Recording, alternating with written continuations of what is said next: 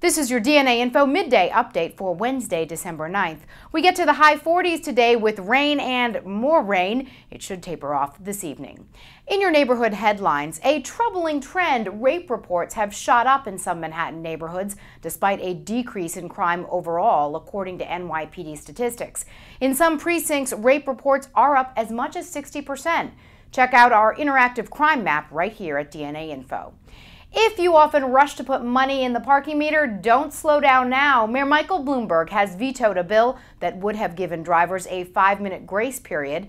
The City Council is expected to override the mayor's veto later this month. An upstart faction of the city's transit union is taking over leadership there and promising tougher negotiations with the MTA. The group beat out the anointed successor to Roger Toussaint, who led the union during its 2005 holiday strike. No pass for former Giants receiver Plaxico Burress.